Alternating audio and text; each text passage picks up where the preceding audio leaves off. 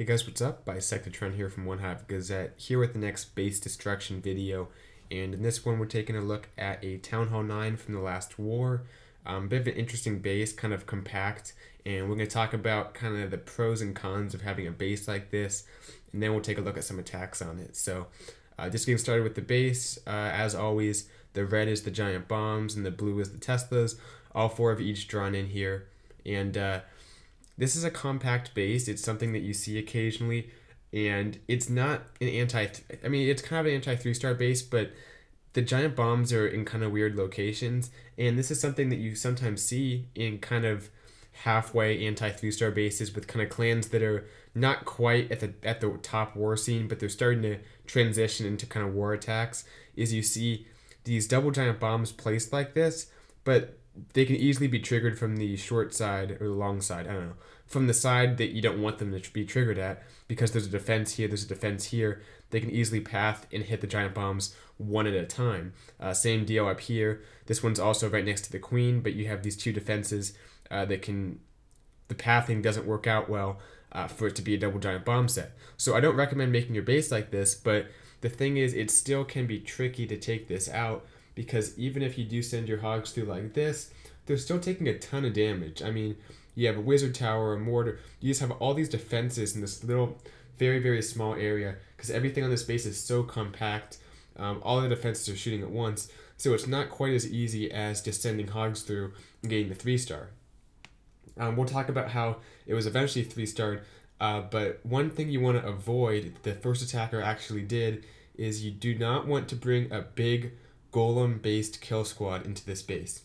And what I what I mean by golem based is that you have multiple golems and not a whole lot of DPS behind it. So what the first attacker does, I think it's Kuram, he comes in at the bottom left here and does a max attack. So drops down some quakes right like this. And for those of you who don't know, the max attack is just a go Laloon attack with two golems usually, some earthquakes, and you basically use most of your spells in your kill squad, like a rage and a heal. Um, but he comes in here with the quakes, opening everything up. Two golems, and notice how, like I said in one of the mini tips, he drops them one at a time here. Not a huge deal, but this one mortar right here does splash damage, so you don't want to target both your golems at once. That's extra damage that you don't need to take. So he waits on the second one, and uh, as soon as he opens everything up, he drops some wizards to create his funnel, and then the second golem comes in right behind the first one, so saves it uh, some hit points there. Uh, but anyway, his heroes just make their way on in. Uh, don't know why I circled that. Uh, his heroes come on in. I'll use uh, blue for the heroes. And that's pretty much all the DPS he has, though. I mean, a few wizards are kind of in the area, but for the most part, he, he does have level 30 30 heroes, um, but that's still not a whole lot of DPS when we're talking about a kill squad for this compact of a base. And the problem is when you do that, the golems take so much damage that the kill squad can't really move fast, move through the base quick enough to uh, get the value of the golems tanking. These golems bust really quickly with those Teslas, the queen right there.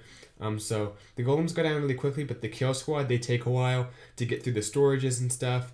And another problem is he didn't bring a poison spell, and there were two witches in the CC.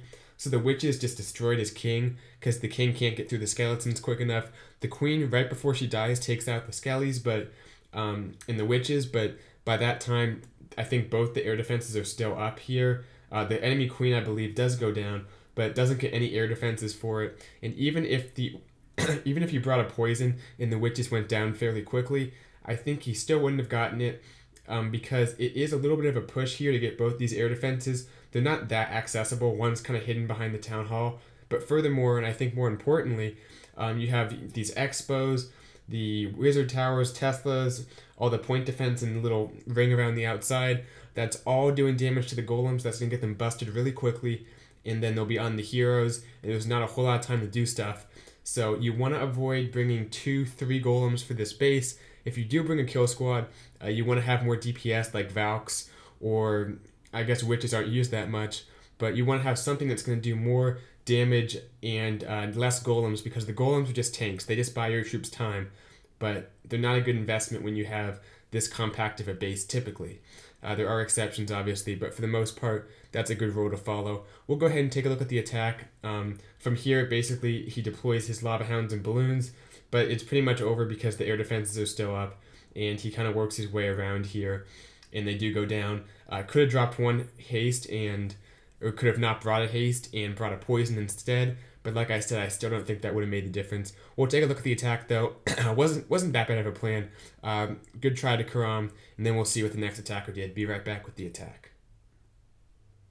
Okay, here we go with the attack. Uh, you can see here he has the one golem, the CC, one of his own, and like I said, no need to drop the second golem for the funnel because everything in the area is being tanked by the uh, golem. So goes ahead and waits on that second one just to save it some DPS. Right there, he does drop it, uh, but just a little bit of a delay there. Not a big deal, just kind of a thing that, that can help sometimes, especially if there's wizard towers. The quakes go down. He actually does not open up the second air defense, that compartment. I think he's planning on the queen getting it. But right here, everything's moving forward, and these golems are taking a ton of damage um, from the CC troops, from the Teslas, the X-Bows, Wizard Towers. He does have the heal, but that's not going to do a whole lot. And uh, the poison spell, not having that, just kills him because there's plus the skelly traps in addition to the witches. that so many little troops running around. Uh, the king cannot nearly to keep up with them, and uh, the king goes down pretty quickly. The queen is a little bit better off because she shoots a little bit faster, and she will get these witches. But by this time, um, the golems have been roasted. Everything's kind of been uh, taken out besides the queen. So pops the ability. She's gonna get through these witches, but that's all she's gonna get. Both air defenses still up, and um, you can see the golems busted pretty quickly. And regardless of the poison spell, like I said, I don't know if it would have been a successful push if he would have gotten those two air defenses. But anyway, uh, comes in here with the lava hounds, the balloons, just gonna target these defenses. A deployment's great here.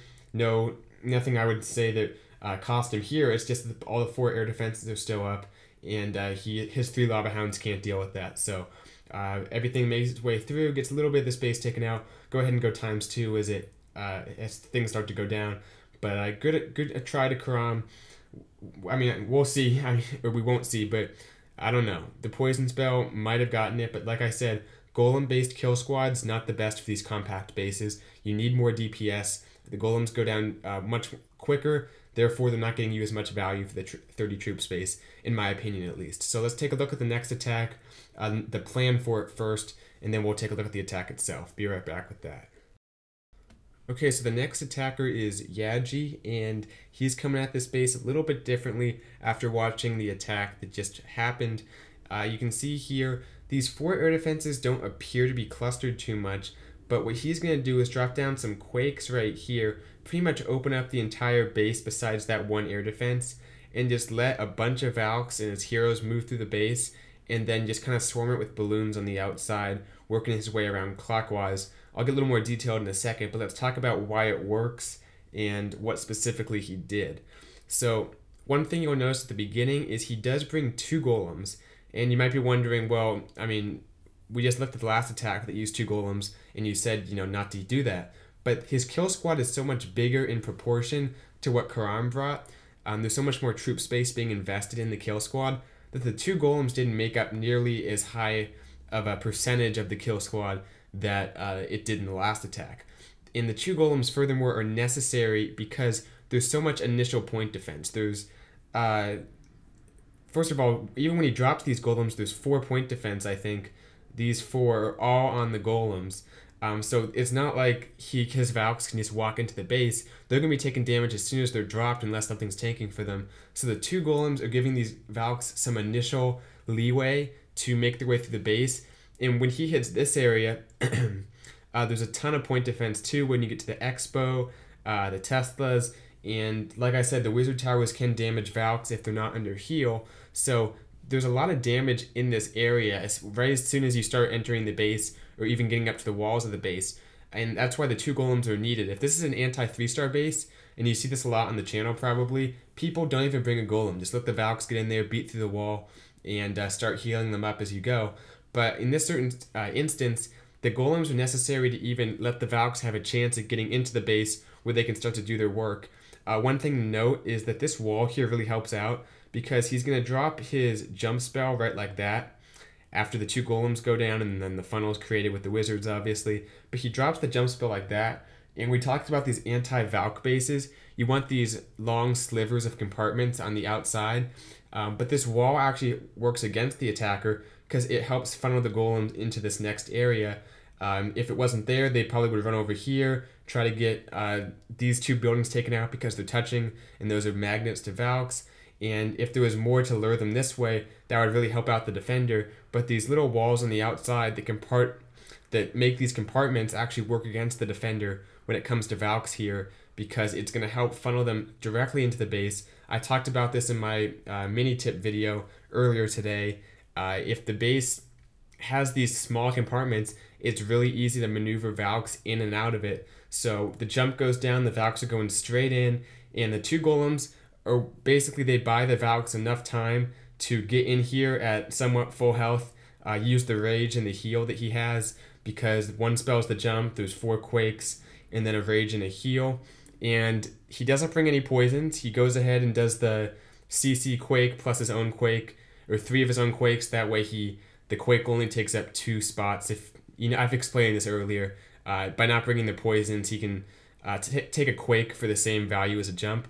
And the reason he doesn't need the uh, poison spell is because the Valks do splash damage. They're going to run up to those archers, those skeletons, those witches, and one swing will take out everything in the area. So the Valks are great against these kind of garbage CC compositions where you have witches and archers and stuff like that. Uh, you don't need the poison spell usually because the Valks can burn through them as long as they're not being targeted directly. I think the, the CC troops were on the golems, plus he had a rage and a heal going down. So the Valks were taken care of and they're going to make their way to the base. Now, he is getting access to three air defenses just right off the bat. There is this fourth one up here that's not quite as available, and that's why this base might not obviously look like a base you would want to use Go Valo on, but he works he starts the balloons here and just works his way around. So the last area to take out is up here. By then the kill squad's already uh sorry. By then the kill squad's already moved up to that direction. I think the queen gets this so he's free to deploy his last few balloons like that. But when you see these bases that have all this point defense in like a ring around the outside, uh, you should still think go Valo, even if the air defenses aren't all like compact in the core, like you might uh, ideally want them to be. You can still use some quakes to open up the base and access most of them. So great, uh, great plan, great attack, and hope I explained everything uh, that makes sense. So we'll go ahead and take a look at the attack and see exactly how this was done. All right, here we go with the attack. You can see has the uh, two golems of his own, elected to bring the Valks and the CC, which is fine. Just kind of a preference choice, whichever you think needs a little bit more uh, hit points or damage or whatever. So the two golems go down. You can see they're taking damage right away from all this, uh, all these defenses in the area. So it's not like uh, these golems aren't needed, and he's bringing 10 Valks. That's a lot of damage coming from those Valks. So the Golems aren't being wasted in their tanking.